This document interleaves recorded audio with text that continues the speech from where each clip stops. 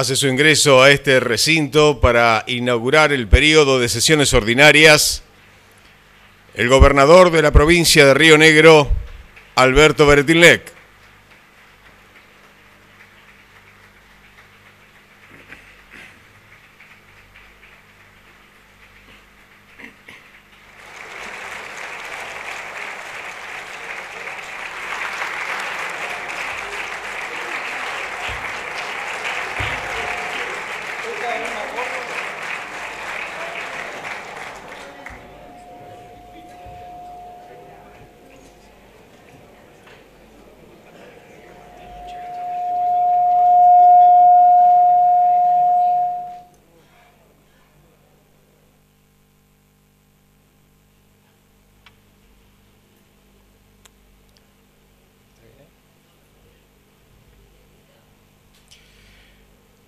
A continuación, se invita a los señores legisladores y público presente a ponerse de pie y entonar las estrofas del himno nacional argentino y posteriormente las estrofas del himno de la provincia de Río Negro.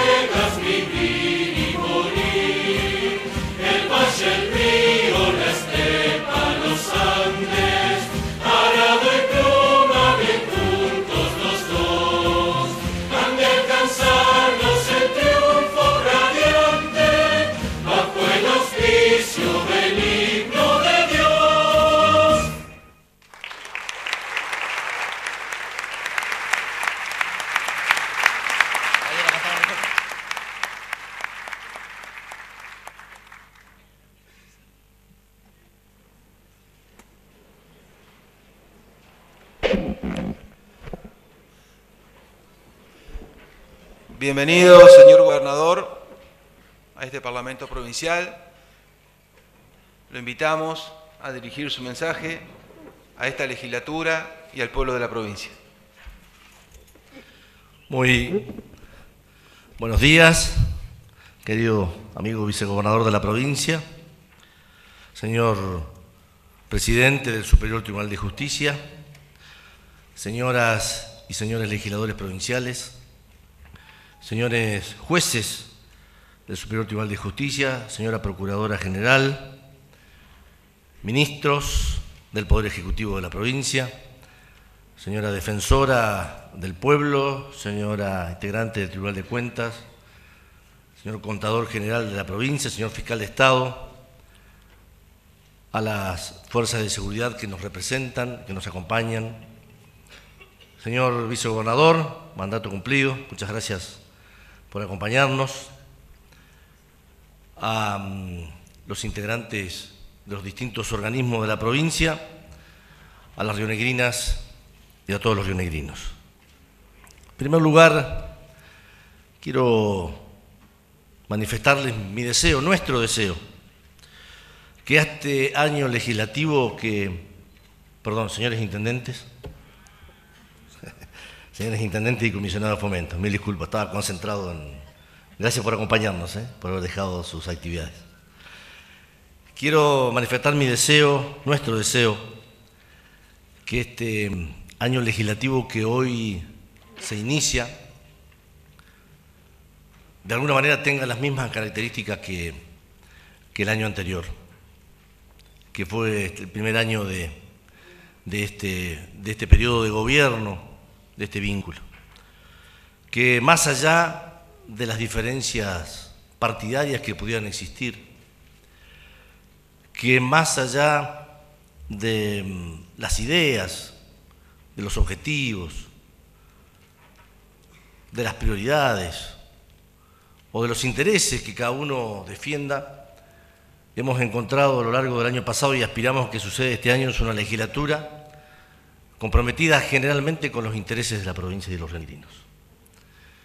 Porque mm, creo que esto distingue a los hombres de Estado, a los hombres públicos, de, los hombres de la mirada corta.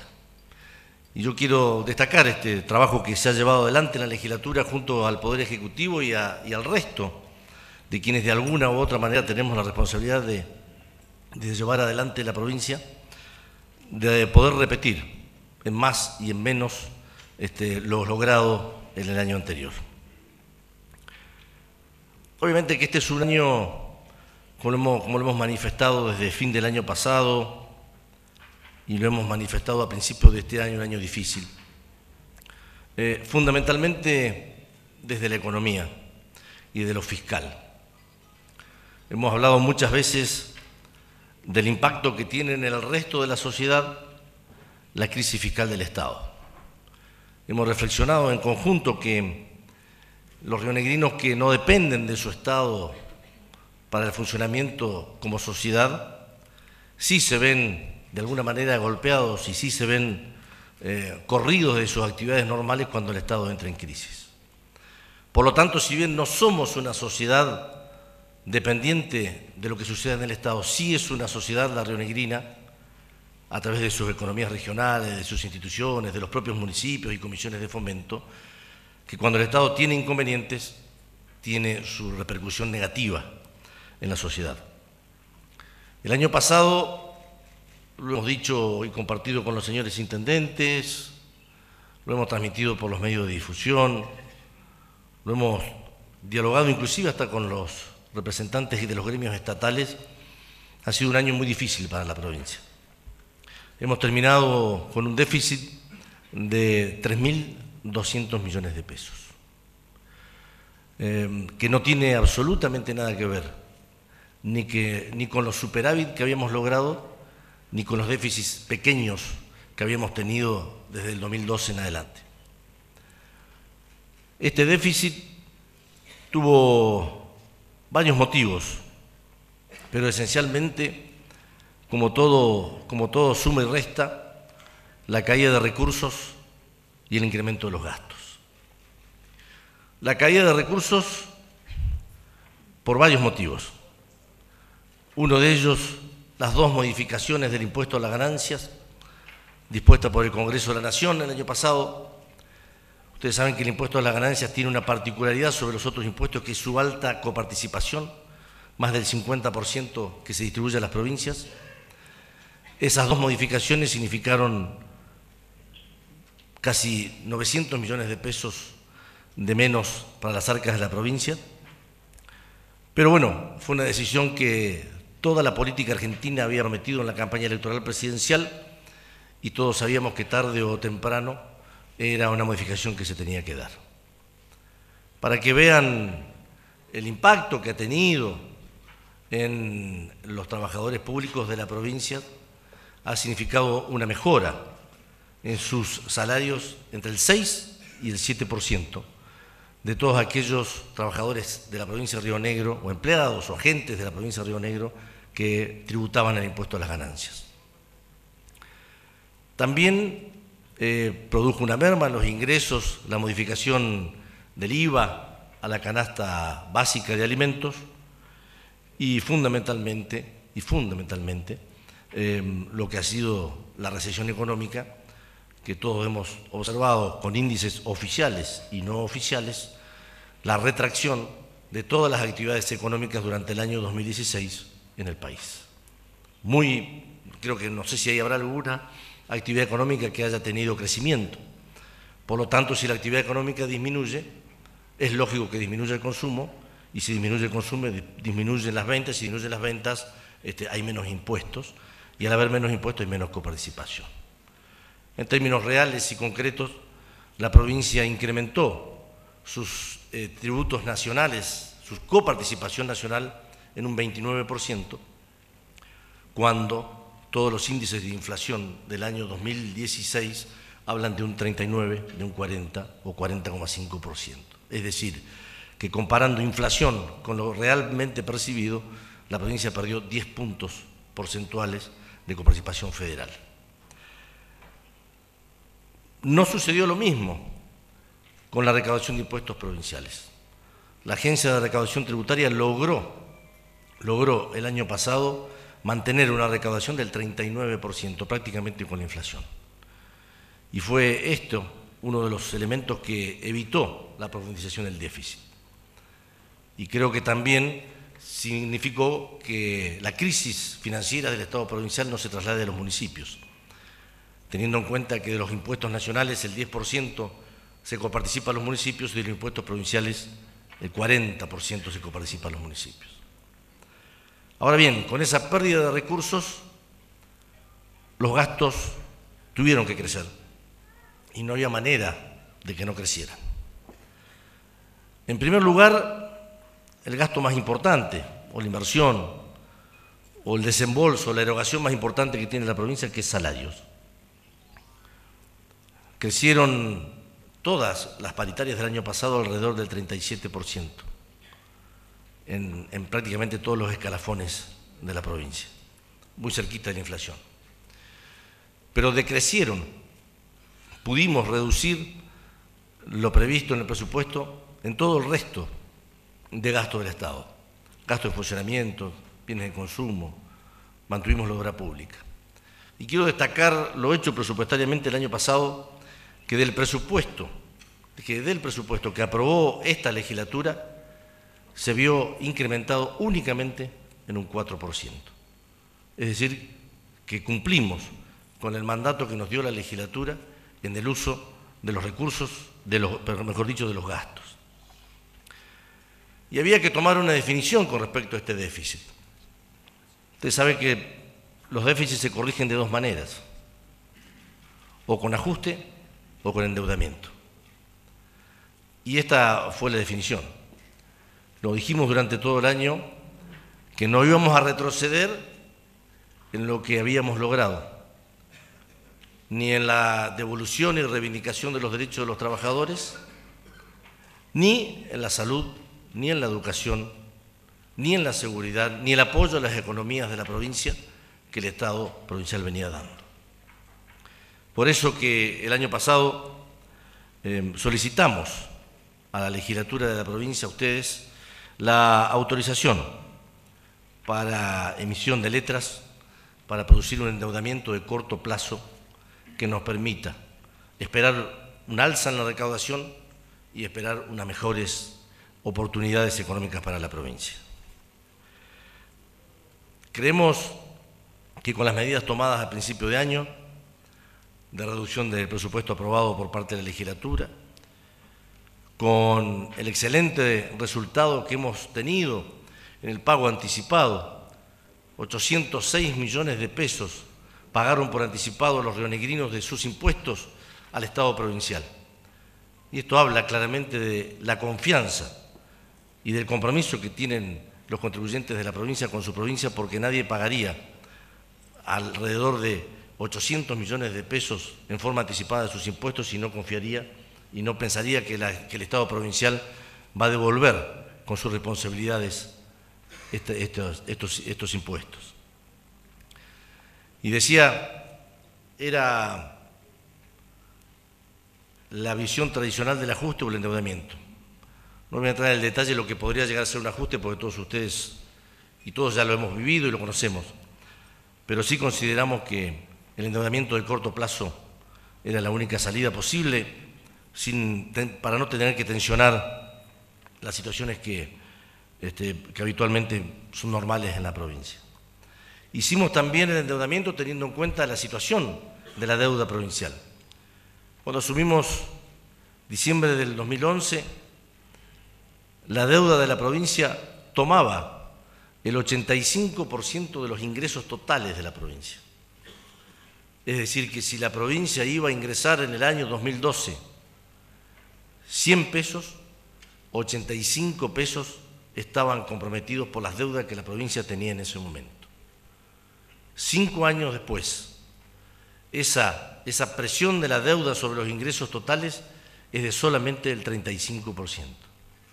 Es decir, que de cada 100 pesos que van a ingresar en el año 2017 en la provincia de Río Negro, solamente 35 están tomados por algún tipo de deuda y aclarar que la deuda de la provincia es con el Estado Nacional, con el mercado financiero argentino de corto plazo anual y que no tiene endeudamiento en dólares y que no tiene endeudamiento que la comprometa más allá de lo que es el giro anual. Por eso que también hemos manifestado durante todo este tiempo cuáles eran este, los objetivos del año.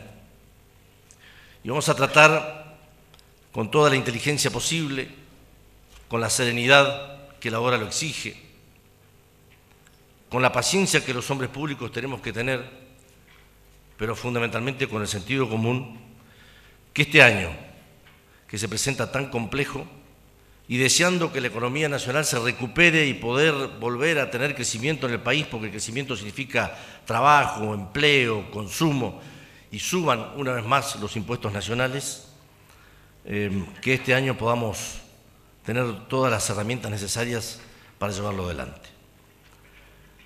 Volver a repetir un déficit de 3.200 millones de pesos como el año pasado, sí significaría ya un camino sin retorno para las arcas de la provincia. Y en esto todos tenemos que analizar la macroeconomía, no hay, no hay, no hay otra posibilidad. A uno le gustaría que sea distinta, le gustaría de alguna u otra manera eh, no hacer las cosas que hay que hacer, o no plantear las cosas como estamos planteando. Si el 60% de los ingresos de la provincia son de jurisdicción federal, o sea, nacional, está claro que para nosotros este es un limitante importante. Por lo tanto, las finanzas del Estado provincial tienen que estar orientadas esencialmente a qué es lo que va a pasar con los ingresos nacionales. El presupuesto de la Nación, aprobado por el Congreso Nacional, fija, estima para el año 2017 un 18% de inflación. Se supone que si tenemos un 18% de inflación en el país, los ingresos de coparticipación federal se van a incrementar en alrededor del 18% o 20%. Suponiendo que lo del presupuesto nacional no sea tan exacto y que la inflación crezca unos puntos más, no hay ningún analista que no hable de que la inflación va a superar el 23% en este año. Con lo cual, está claro que los ingresos de la provincia, lo sumo, crecerán alrededor de un 20, 22, 23%. Si este es el crecimiento de recursos estimado y la decisión es no seguir profundizando el déficit y es no seguir endeudando a la provincia, lo que está claro es que tenemos que gastar de incremento o incrementar nuestros gastos no más allá del 17 el 18% que vamos a percibir. Y esta es la discusión que le hemos planteado a los dirigentes gremiales y que obviamente estamos en el inicio de la paritaria y que no aspiramos que nos aplaudan ni que nos entiendan, sino que aspiramos que utilicemos el mismo criterio y la misma coherencia que se han utilizado en las discusiones anteriores. Desde el año 2012, en que gobernamos esta provincia, nunca, nunca en ningún año los incrementos salariales de los empleados públicos de la provincia de Río Negro estuvieron por debajo del índice de inflación. Si fue válido una discusión salarial del 37%, 38, 39, porque la inflación es del 39, también es válido que con una inflación del 18 o del 20%, las discusiones salariales sean del 18 o del 20%. Porque si tuviéramos, y ojalá si suceda como los países más avanzados del mundo, que una inflación anual del 2%, bueno, tendremos que acostumbrarnos a discutir salarios en alrededor del 2%, porque así funciona la economía, así funciona la generación de recursos.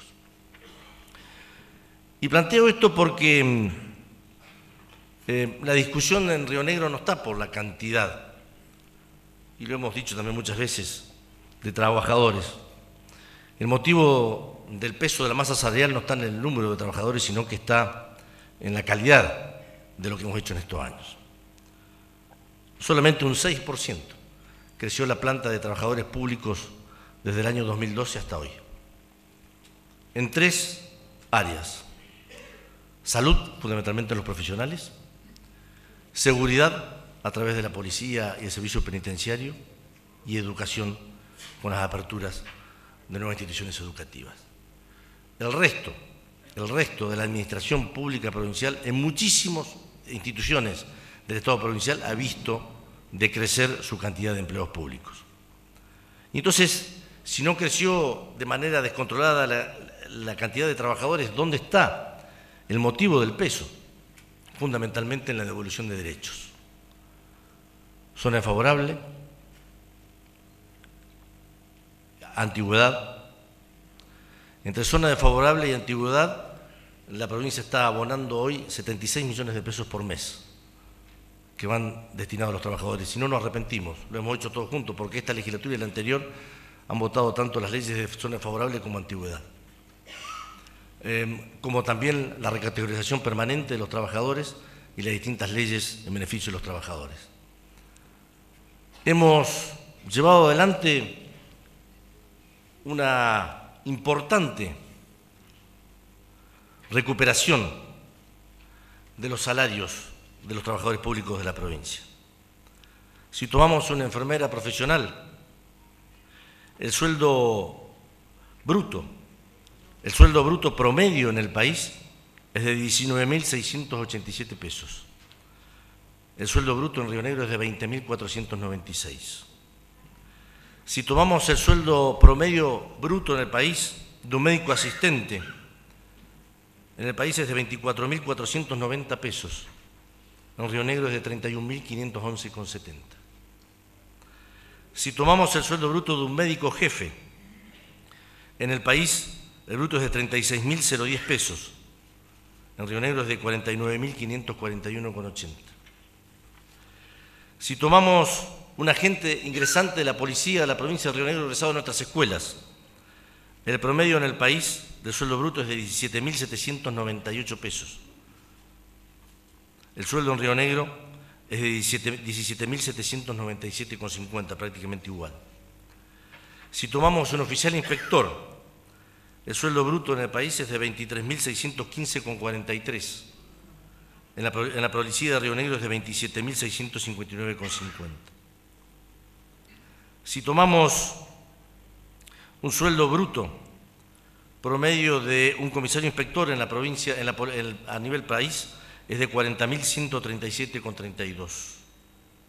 Un sueldo bruto de un comisario inspector en la provincia está alrededor de 54.832 pesos. Si tomamos un obrero equipista de vialidad rionegrina, el sueldo bruto promedio a nivel nacional es de 15.550 pesos. El sueldo bruto de un equipista de la provincia de Río Negro y Vialidad es de 20.939. Si tomamos de un técnico jefe de división de vialidad rionegrina, 23.516,40 el promedio nacional, 33.914 el promedio de la provincia de Río Negro. Si tomamos el escalafón general, ley 1844, la categoría inicial mínima en el país, el promedio 10.477,05. La categoría inicial en la provincia de Río Negro del escalafón general, 12.411,40. Si tomamos una categoría intermedia, el sueldo bruto en el país, 13.221,08. 13.709 el, el, sueldo, el sueldo intermedio del escalafón general en la provincia. Y si tomamos una categoría máxima, el sueldo bruto en el país, 28.344 el promedio, 34.743,80 en la provincia. Y hemos logrado llevar en cinco años el salario inicial docente del puesto 20 al puesto número 5. Solamente Santa Cruz, Tierra del Fuego, La Pampa y Chubut tienen salarios iniciales superiores a los docentes de la provincia de Río Negro. Entonces, si en los, años anteriores hemos recuperado los salarios, como lo he relatado recién, si en los años anteriores hemos acordado paritarias en el marco de la inflación o superior a la inflación, aspiramos a que la discusión de este año tenga en cuenta estas situaciones. Que esté de acuerdo con la inflación esperada, que se tenga en cuenta el esfuerzo hecho por los rionegrinos y por el Estado provincial en los años anteriores y que este, de una u otra manera se entienda y se interprete que no tiene el Estado provincial con las condiciones fiscales actuales otra posibilidad que no sea un incremento de alrededor del 17% tal cual lo hemos planteado a la dirigencia gremial de la provincia de Río Negro. Aspiramos a que se entienda, aspiramos a que de una u otra manera el marco de, sentido común y razonabilidad prime, pero lo que sí tenemos absolutamente claro es que como Estado provincial no hay otra posibilidad. Podremos discutir la forma de pago, podremos discutir cláusulas de ajuste de acuerdo a la inflación durante el año. Podemos incluso algo que no hicimos en todos los años anteriores, que es dejar prevista una reapertura de la paritaria si, si esto no fuera lo que ocurriera, pero lo que de ninguna manera vamos a hacer es profundizar el déficit asumiendo compromisos que después no podríamos pagar. Quiero también, y podría haber hecho este, construido este discurso, este mensaje, con lo hecho durante el año 2016. que realmente cuando veía toda la síntesis del trabajo que, ha hecho, que han hecho en todos los ministerios el año pasado y observar la cantidad de cosas, la información, los datos, las estadísticas, los objetivos. Me hubiese gustado hacerlo, pero íbamos a, consumir mucho tiempo y íbamos a, este, a quizás concentrarlo más en el pasado, que ya cada uno de los reuniones tiene su opinión, y no mirar el futuro. Yo creo que el futuro de la provincia o este año tiene políticas estratégicas en distintas áreas. Una que ya la abordé recién, que es la situación fiscal y económica de la provincia. La otra que es la construcción que estamos llevando adelante del Plan Castelo. El otro aspecto tiene que ver con la reforma del Código Procesal Penal y su implementación y el otro punto es la nueva escuela rionegrina, que también está en debate.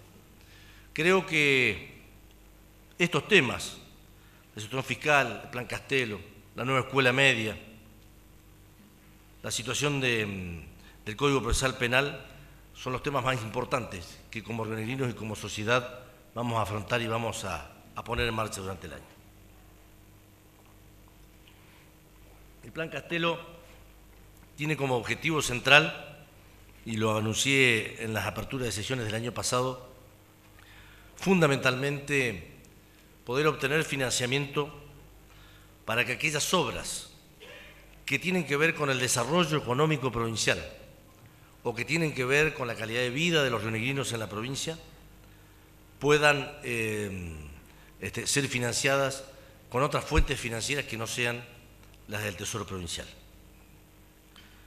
Con los fondos del petróleo hemos financiado educación, hemos financiado salud, hemos financiado vialidad rionegrina, hemos financiado Departamento Provincial de Aguas, hemos financiado también ciertas obras en el territorio provincial. Entonces, el Plan Castelo tiene que financiar de una u otra manera aquellas obras que hoy el Tesoro Provincial no puede financiar, pero que son absolutamente necesarias en distintos lugares del territorio provincial. Algunas de estas obras tendrán repago, otras obras serán a costa del futuro de la provincia, pero lo que estamos absolutamente convencidos es que si queremos dar un salto de calidad en lo que es el desarrollo económico provincial y poner nuevas áreas en producción, permitir la generación de empleo y de trabajo, no tenemos otra opción que no sea esta. Obviamente que un endeudamiento en dólares que la provincia no tiene y que no ha tomado nunca, que no ha tomado nunca desde la democracia en el año 83 hasta ahora, de estas características, merece todas las discusiones y todas las búsquedas de consenso.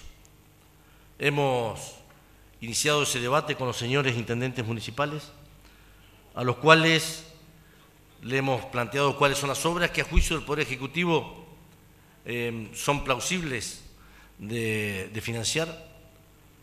Hemos planteado a los señores intendentes también que parte de este financiamiento eh, sea destinado a los municipios y estamos en este ida y vuelta en el cual los señores intendentes nos van a plantear cuáles son sus observaciones o van a enriquecer de alguna manera al, Plan Castelo. También de alguna manera lo hemos hecho con los distintos bloques legislativos, este, previo a la redacción final, y lo iremos haciendo en la medida que, las circunstancias lo consideren, porque pensamos este, que una definición de esta característica tiene que tener el mayor consenso posible. Creo detallar brevemente algunos de los proyectos que nosotros consideramos que son fundamentales en esta época el Parque Tecnológico e Industrial y de Servicios de Bariloche y el Centro de Congresos y Convenciones de Bariloche. Todos sabemos que el empleo o la generación de empleo por parte del turismo en Bariloche es una situación agotada y que la pobreza que tiene Bariloche y que los problemas en su juventud que tiene Bariloche están motivados esencialmente porque el turismo no puede generar más trabajo y más empleo que el que ha generado en todos estos años o nosotros le proveemos a Bariloche de otra fuente de ingresos laborales distinta al turismo, o Bariloche va a seguir en esta situación de crisis laboral y social y de pobreza que tiene permanentemente. El Parque Tecnológico de Bariloche lleva a esto, a la expansión urbana y a crear y a generar un área puntual este, que, sirva este, para el crecimiento y para la erradicación de nuevas empresas. El Centro de Congresos sin Convenciones. Bariloche hoy está fuera del mercado nacional e internacional de congresos con lo que esto significa desde el punto de vista de ingresos y de trabajo, había cuenta de que no, no tiene un lugar o varios lugares aptos para poder llevar adelante em, este tipo de situaciones. Con lo cual, Mar del Plata, la capital federal, Córdoba, han ocupado lugares que durante muchos años este, eran de San Carlos de Bariloche. Estas dos obras tienen por finalidad este, perfectamente darle una nueva oportunidad y un nuevo desarrollo de San Carlos de Bariloche. La inversión en infraestructura del Poder Judicial. No solo hemos crecido en habitantes, no solo hemos crecido en las demandas hacia el Estado, sino que también el Poder Judicial, producto de las leyes sancionadas por esta legislatura en la creación de juzgados y nuevas jurisdicciones, también en forma permanente está sometido a un crecimiento y a las tensiones producto del crecimiento. No solo la reforma del Código Procesal Penal y su implementación nos va a generar nuevas dependencias judiciales, sino también, como decía recién, la creación de nuevos juzgados y nuevas instituciones judiciales llevan al Poder Judicial a tener que alquilar en forma permanente de las localidades pequeñas a las grandes, con lo que significan los perjuicios para el Estado del alquiler permanente. La construcción del gasoducto en la región sur, entre Maquinchao, entre Jacobasi y mm, Balcheta. No solamente para el confort de los ciudadanos de la región sur, sino también para tener la posibilidad cierta de generar empleo y nuevas fuentes de trabajo. Hoy, la radicación de cualquier empresa en la región sur, destinada a la ganadería, destinada a la minería, está absolutamente imposibilitada por falta de un elemento central en lo que es la actividad industrial o productiva como es el, este, el gas. El mejoramiento de la capacidad de conducción del brazo sur del Río Negro en el Valle Medio, entre La Marca y Pomona. Todos vamos viendo permanentemente la consolidación del Valle Medio en la faz productiva, en la agricultura, en la ganadería, en la fruticultura, en la horticultura es la zona que más inversiones de la actividad privada ha recibido en los últimos años. Y ver hoy plantaciones de maíz como no se veían, ver hoy el crecimiento del stock ganadero, ver hoy desde ajo a cebolla y a tantas otras actividades, significa que el Estado provincial tiene que garantizar el agua y el riego en el Valle Medio para poder acompañar el desarrollo de la inversión privada, que en definitiva es más trabajo, es más empleo y es más riqueza para el pueblo. Los planes directores de cloacas, que inclusive aquí en, la propia legislatura, esencialmente a, través del trabajo de, Jorge Ocampos y del bloque eh, de la coalición, que ha trabajado tanto para el mejoramiento del saneamiento del Río Negro, preocupación que tenemos todos, plan Castelo podría, significaría terminar el plan director de cloacas de Allen, el de Luis Beltrán, el de Río Colorado, el de Villa Regina, Cerro Catedral, el de Viedma, el de Sierra Colorada, Maquinchau, Picanilleu y Mainqué, con 77 millones de dólares. Las nuevas áreas bajo riego. Estamos asistiendo allá casi al final de un proyecto en la zona General Conesa, Negro Muerto, Colonia Josefa, que va a financiar el Estado argentino. Y pensamos también que hay otras potencialidades de nuevas áreas bajo riego. La zona de Campo Grande va a ser un lugar que todos confiamos que más allá de lo que sucedió con la fruticultura, hay 3.000 hectáreas susceptibles de, crecimiento y de inversión pública destinada a producir empleo y a producir trabajo. no quiero dejar de pasar lo que significaría el Plan Castelo en el desarrollo energético de la provincia. Gas y electricidad. Y las obras que están previstas en la mejoración del, transporte de energía eléctrica. La ampliación y la construcción de las estaciones transformadoras de Chipoleti, de Campo Grande, de Ingeniero Huergo 1. La línea de alta tensión entre Picanilleu y Jacobasi. La conversión de la estación de Termorroca en estación transformadora de potencia la segunda etapa de la línea entre el Coihue y los repollos del Bolsón, del 132. La construcción de las estaciones transformadoras de General Conesa. La segunda etapa de la línea de 132 de General Conesa y San Antonio Este. La modernización de las centrales hidroeléctricas sobre el canal principal de riego, Julián Romero, Chipoletti, Roca y Céspedes. Son obras energéticas que permitirían no solo no tener la imprevisibilidad que tenemos hoy, y lo hemos visto esta semana con los altos calores y la alta demanda, sino también que nos, permitiría la eh, concreción de desarrollos productivos que hoy están pendientes. La zona de Conesa, todo el valle de Conesa, ni siquiera hoy tiene garantizado el abastecimiento para el consumo del casco urbano de Conesa.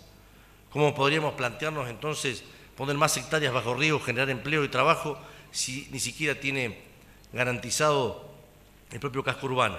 La región sur, ni siquiera hoy podemos tener mayor eh, posibilidad de demanda porque no tenemos cómo abastecerla en cualquier este, radicación de una nueva empresa minera o un lavadero de lanas o cualquier actividad productiva que querramos crecer.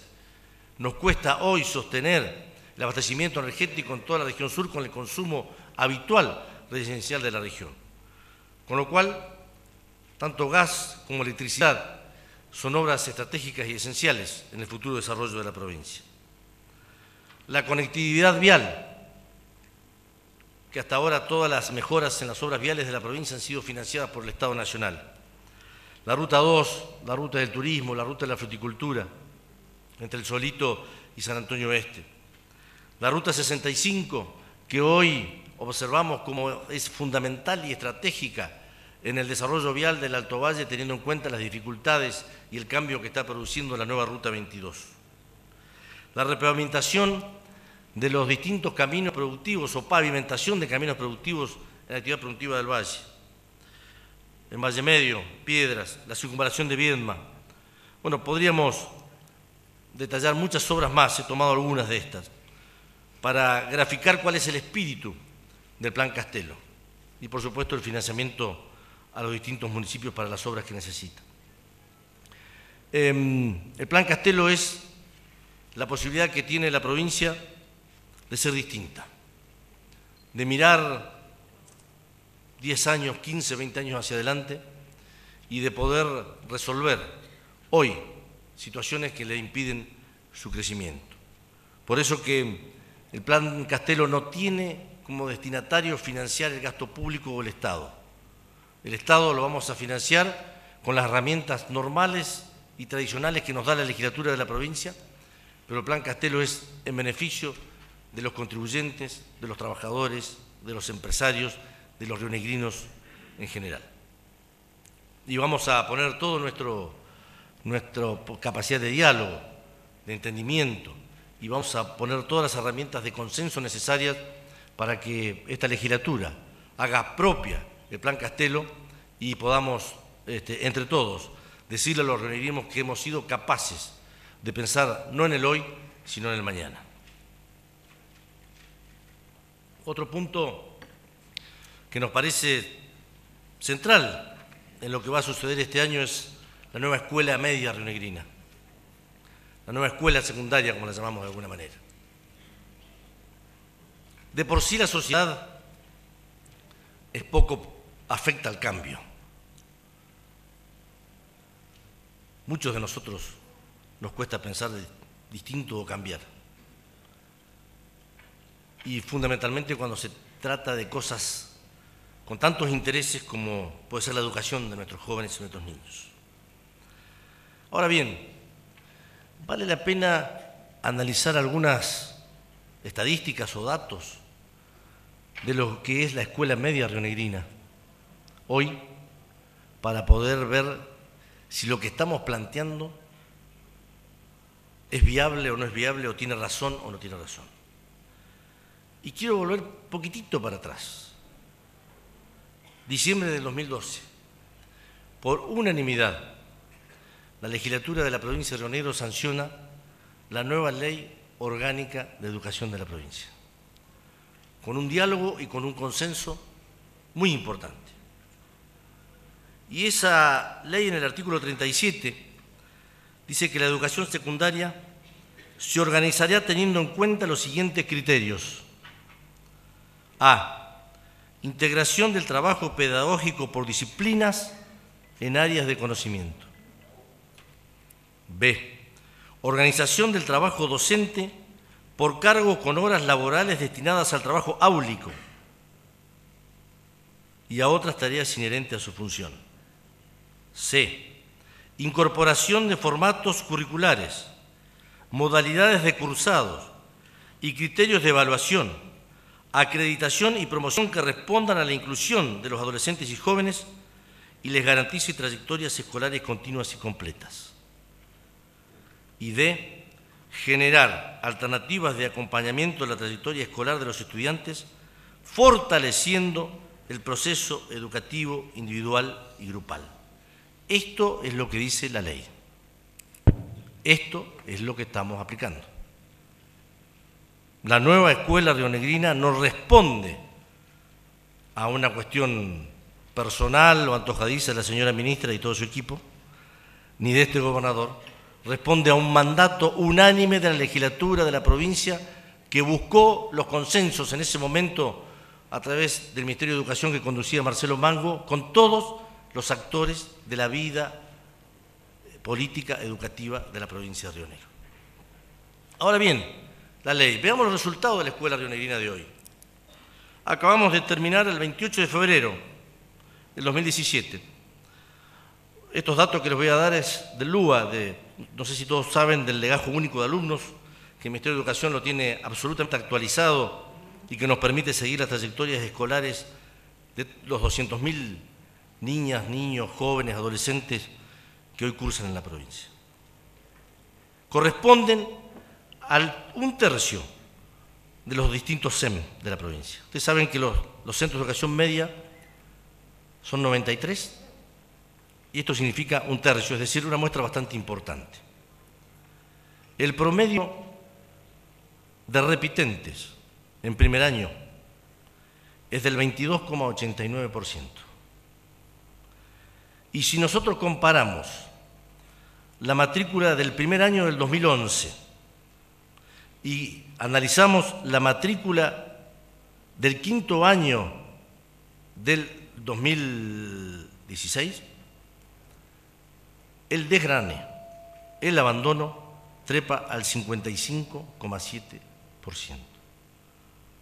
Es decir, que cada 100 alumnos que ingresaron a primer año de la escuela media rionegrina, solamente cuatro terminaron la escuela media.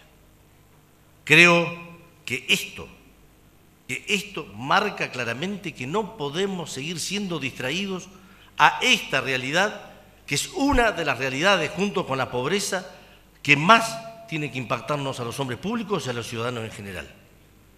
Esto significa claramente el empobrecimiento educacional, cultural y laboral de miles y miles de rionegrinos en los próximos años. Algunos datos. Y quiero dar estos nombres y discúlpenme si alguien se siente tocado, porque la crisis de la escuela media no es únicamente de las grandes ciudades, es de las medianas y es de las pequeñas. En el caso de la Marque, el desgrane trepa al 66,26%. En el caso de Fernández Oro, 67,47%. En el caso de Viedma, 80,12% en una escuela, 74,39% en otra escuela. Es decir, que de cada 100 chicos que empiezan un primer año, a los 5 años terminan 20. En el caso de Ramos Mejía, perdón, de Barda del Medio, 78,87 el nivel de abandono de los chicos de la escuela media. Y en el caso de San Antonio Este, el 69,6. Repito, en primer año, después de haber invertido los padres, el Estado, la sociedad en la educación del nivel inicial y en la escuela primaria, repiten el 22,89% y al terminar el quinto año solamente quedaron en la escuela casi el, 45%. Creo que esto habla claramente de que no podemos seguir haciendo los distraídos. Vamos a afrontar todo lo que haya que afrontar, porque me parece que, por más allá que sea difícil, que no tengamos el entendimiento del gremio, que haya apatía en algunos lugares, creemos que es absolutamente necesario poder llevar adelante este, esta, nueva escuela. Y fíjense cómo con la misma población etaria, por eso que se fundamenta aún más el cambio de la estructura de la escuela media. Los mismos jóvenes, es decir, la misma edad, primero a sexto año, los mismos padres, e inclusive con una escuela que es más exigente que el SEM tradicional, que es la Escuela Técnica Rionegrina, las escuelas industriales. Creció desde el año 2011 al 2017 un 63% la matrícula. ¿Y saben cuánto es el desgrane en la Escuela Industrial Rionegrina? Solamente el 15%. Entonces, no está ni en los profesores, ni en los chicos, ni en los padres. Está en lo que estamos enseñando, de la manera que estamos enseñando y con la estructura que estamos enseñando. Entonces, este es el punto central, ideológico, filosófico, que hoy tenemos que discutir de la escuela media. Vamos a garantizar por todos los medios que ningún trabajador de la educación, que ningún profesor de la escuela media rionegrina se quede sin su trabajo. Pero lo que no vamos a negociar es la demora, es la postergación de la escuela media rionegrina porque no está en juego ningún interés gubernamental. Está el interés de los, de los jóvenes, de las chicas y los chicos rionegrinos.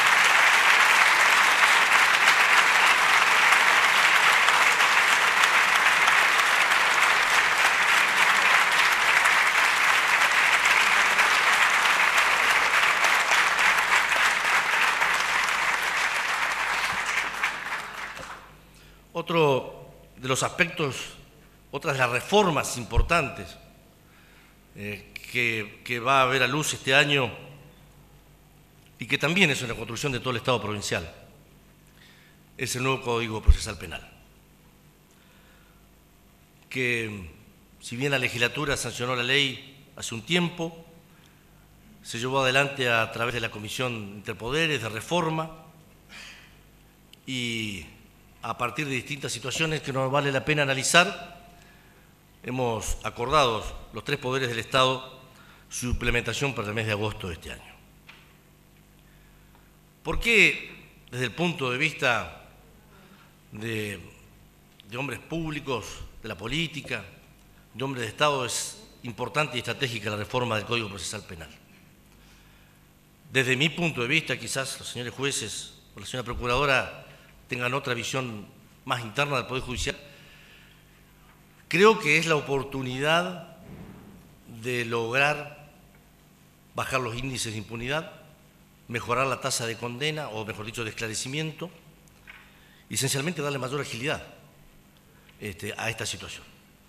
Creo que después de, de, la, de la situación de empleo e inflación, desde hace muchos años, la mayor preocupación de los renegrinos es, la seguridad. Y lo hemos dicho muchas veces, que la seguridad no es únicamente una responsabilidad de la policía. Terminamos de procesar todos los datos del año 2016 y hemos tenido solamente un incremento del 2,6% en, en, las tasas de, de, delito en los últimos años. Es decir, podríamos decir que no ha empeorado. Hemos mejorado quizás poco para lo que hubiésemos aspirado. Pero viendo lo que pasa en otros lugares del país, creo que hemos, hemos hecho muchos avances. Si miramos la tasa de homicidios, lamentablemente cualquier homicidio o pérdida de vida es un motivo de, de dolor y de impotencia y de bronca para todo el Estado. Vamos a tener el año 2016 una de las primeras cuatro o cinco tasas de homicidio más bajas de, todas las provincias argentinas. A todos coincidimos que, el esfuerzo de, de la policía solo no alcanza, todos coincidimos que el trabajo del Ministerio de Seguridad en el sistema penitenciario o en distintas políticas tampoco alcanza y todos sabemos que la actividad que hoy llevan adelante desde el fuero penal en la justicia tampoco alcanza. Y no es una situación de echarnos culpas o de pensar que la culpa es de uno y no es de otro. Creo que la tranquilidad de la gente no admite egoísmos y que la tranquilidad del pueblo rionegrino merece de parte nuestra eh, el trabajo de todo el Estado provincial. Y en agosto vamos a tener el nuevo Código Procesal Penal. Con las dificultades que toda puesta en marcha de algo nuevo genera. Las dudas hacia dentro del Poder Judicial, las demandas, en este caso de la política, las expectativas. Y creo que, así como se hizo en la Comisión de Interpoderes, también nosotros vamos a asumir todo nuestro compromiso de acompañar al Poder Judicial en la instrumentación de esta reforma. Creo que es una decisión que ha tomado la legislatura de la provincia y que está impulsando al Poder Judicial y que también es uno de los grandes objetivos centrales del Estado. Yo pongo la reforma del Código Procesal a la misma altura de la nueva escuela rionegrina y a la, misma altura de lo que podría ser Plan Castelo. ¿Y por qué digo esto? Porque significa cambiar lo que está. Y cambiar lo que está porque en otros lugares se ha mostrado y se ha demostrado que se puede hacer mejor, que se puede hacer más rápido, que se puede hacer de distinta manera, quizás invirtiendo más dinero, pero me parece que no hay dinero que deba ser ahorrado cuando estamos hablando de la tranquilidad y la paz y la vida de la gente. Por eso que vamos a acompañar todo el esfuerzo que está haciendo el Poder Judicial para que la reforma en agosto empiece y que en el transcurso de los meses, ya sea con todos los instrumentos, o leyes, o decretos, o lo que esté a nuestro alcance, vamos a, poner en marcha. Empezando por la propia policía de la provincia, que va a ser un auxiliar y un trabajador permanente este, acompañando al Ministerio Público Fiscal en esta situación. También hay dos otros, dos otros ejes que me parece que van a cambiar la, vida de la provincia o por lo menos de las actividades. Uno es el llamado libro blanco de la fruticultura, nuestra principal actividad económica. La actividad económica que genera mayor cantidad de empleos, que genera mayor cantidad de trabajadores y que tiene que ver junto con el turismo en Bariloche y el mar la identidad productiva provincial. No vamos a relatar aquí la crisis de la fruticultura pero solamente dar dos o tres números. Hemos pasado en los últimos seis años de producir 1.900.000 toneladas de peras y manzanas a producir este año menos de un millón. Hemos perdido millones de horas de trabajo, de puestos de trabajo. Hemos tenido menor cantidad, no solo de kilos, sino también de horas trabajadas por los trabajadores. Y estamos perdiendo mercados en forma permanente y sistemática. Veinte años atrás se echaba la culpa a las empresas multinacionales, de que se llevaban todo y dejaban poco para el productor. Hoy ya no quedan empresas multinacionales. Años atrás, en el gobierno de la presidenta Kirchner, se echaba la culpa al tipo de cambio o al aislamiento del mundo. En un año y medio de gobierno pasamos de tener un dólar de 10 pesos a tener un dólar de 16 con reembolso de puerto y sin detenciones. Y la Argentina abierta al mundo. Y sin embargo, la crisis de la fruticultura se, profundiza. Entonces, si la culpa ya no es más de las multinacionales, si la culpa no es del tipo de cambio ni de las políticas nacionales, ¿dónde está el problema? El problema es que somos caros. ¿Por qué? Porque producir de la manera que estamos produciendo nos hace poco competitivos.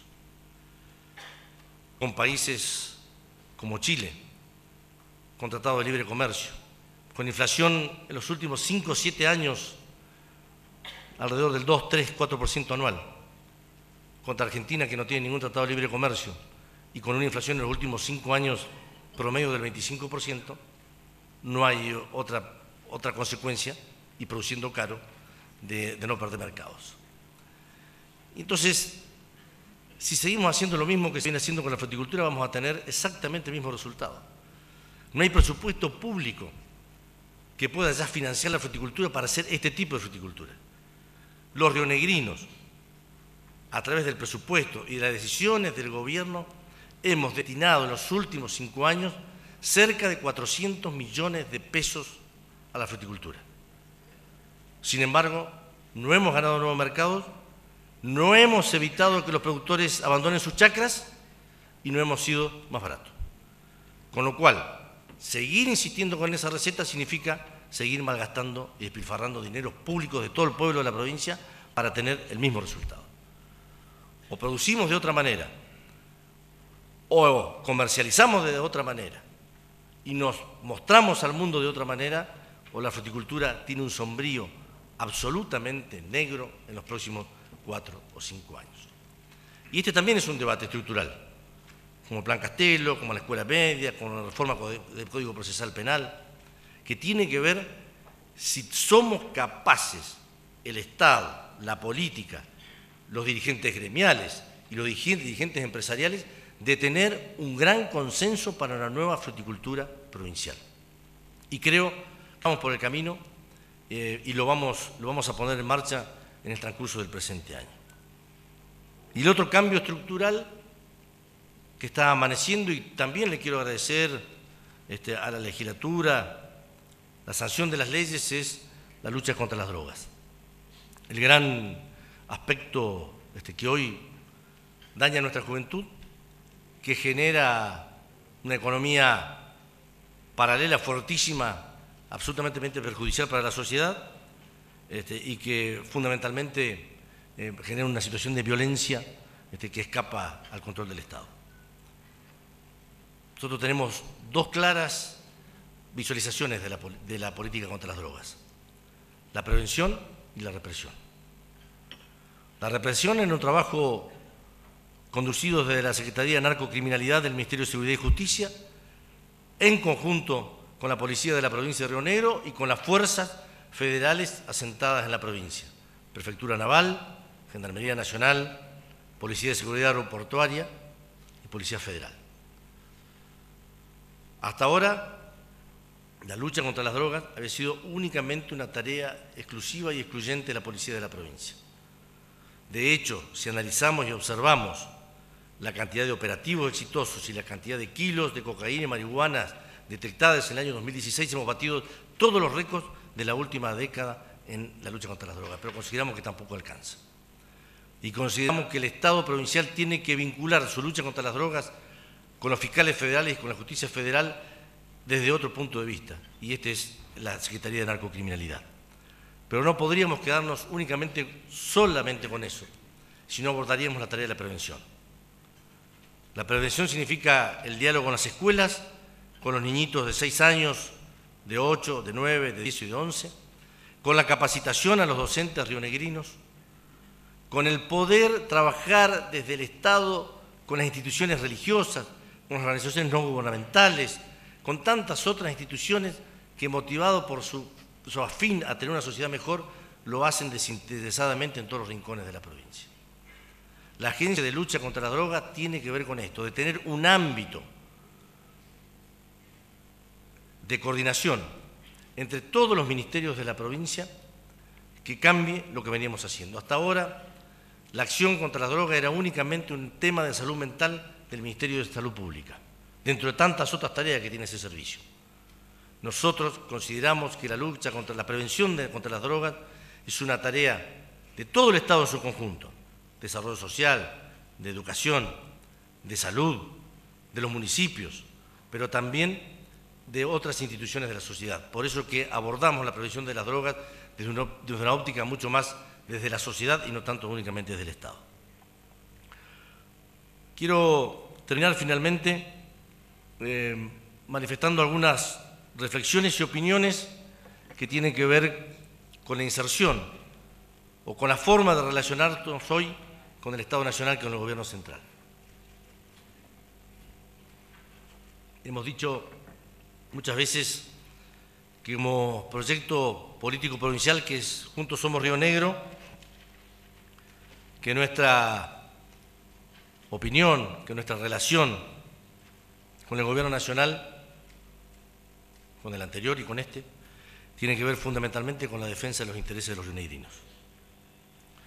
Con valorar, agradecer y destacar las acciones del Estado Nacional en la provincia que benefician a los rionegrinos y, por qué no, de cuestionar o de intentar modificar aquellas decisiones del Estado Nacional que perjudican de alguna manera a los rionegrinos. Este es el marco conceptual que tenemos de diálogo. Y en esto quiero destacar la posibilidad de discernir que hoy tenemos los gobernadores frente al Estado central. Y quiero destacar la posibilidad de la búsqueda de consensos en aquellas cosas que hoy o que pudieron no haber sido de, de conformidad de los gobernadores. La modificación del impuesto a las ganancias, que el proyecto que estaba en el Congreso hubiese sido absolutamente perjudicial, perjudicial para las finanzas de la provincia la modificación en su debido momento, este, vía el diálogo este, y también algunos de vía judicial de las tarifas de gas este, a principios del año pasado. La posibilidad de consensuar distintas acciones, más allá de una pertenencia partidaria distinta, yo creo que es un valor y yo quiero reconocerlo de forma personal del Gobierno Nacional actual. La, posibilidad, la visualización que tenemos de la continuidad de obras iniciadas en el gobierno anterior, como la Ruta 23 en la región sur, como la Ruta 22 en el Alto Valle, como la Ruta 5 en Sierra y Playas Doradas. La posibilidad de tener el financiamiento nacional para las obras de saneamiento. 20 de marzo se abre por 600 millones de pesos el saneamiento del lago Nahuel Huapi, el colector de la Costanera Sur y la nueva planta de tratamiento de frentes cloacales. Junio se llama licitación para los planes directores de cloacas de Chipoletti y General Roca, Catriel y El Bolsón. Obras absolutamente imposibles de financiar en un solo acto por la provincia, las está financiando el Gobierno Nacional. La continuidad de las obras de vivienda. Primeros días de abril, la provincia va a estar construyendo con financiamiento nacional cerca de 3.200 viviendas en forma simultánea uno de los índices de construcción de vivienda más altos de los últimos años. La posibilidad de haber podido reconstruir, o sea, reafirmar el plan de viviendas que en manos de los municipios se llevaba adelante y que tuvo unas dificultades y la pudimos reconstruir entre todos, municipios, nación, provincia. El persistente acompañamiento al INVAP, que a pesar del cambio de gobierno siguió teniendo los contratos firmados y el financiamiento asegurado por parte del Estado Nacional la decisión y el acompañamiento del Estado Nacional al libro blanco de la fruticultura como elemento central para financiar la nueva fruticultura. Por eso que quiero destacar esta relación de hoy, que va a tener otro hecho importante y que ya empezó, que es el debate entre la nación y las provincias por la nueva ley de coparticipación federal, una discusión que la Argentina se debe desde el regreso de la democracia, o por lo menos desde el primer pacto fiscal en la época del presidente Menem y. Y que hoy se empezó el debate y el diálogo como tantas otras leyes importantes que mejoran o que vinculan de distinta manera al Estado federal con las provincias. En síntesis, creo que nos espera un año, por un lado, con ese con esas dudas o con esa mirada de las dificultades económicas, que obviamente pondremos toda nuestra predisposición a que el impacto de la crisis fiscal de la provincia sea el menor, que no vamos a afectar los derechos sociales de nuestra comunidad, que vamos a seguir estando al lado de cada una, de cada uno de los negrinos que así nos requieran y nos merecen, que vamos a seguir acompañando a las actividades productivas, que no vamos a permitir bajo ningún punto de vista que lo que hemos alcanzado se deteriore. Pero obviamente, dentro del marco de la razonabilidad y dentro del marco que la economía del país hoy nos marca. Pero también con la expectativa de generar a lo largo del año entre los tres poderes del Estado, entre el sector privado, entre el movimiento obrero, las reformas que la sociedad rionegrina nos exige hoy, que tiene que ver con la educación, que tiene que ver con el empleo y con el trabajo y que tiene que ver también con nuestra calidad de vida. Señoras legisladoras, señores legisladores, señores jueces, dejo de esta manera inaugurado las sesiones ordinarias de la legislatura de la provincia de Río Negro correspondiente al año 2017. Muchísimas gracias.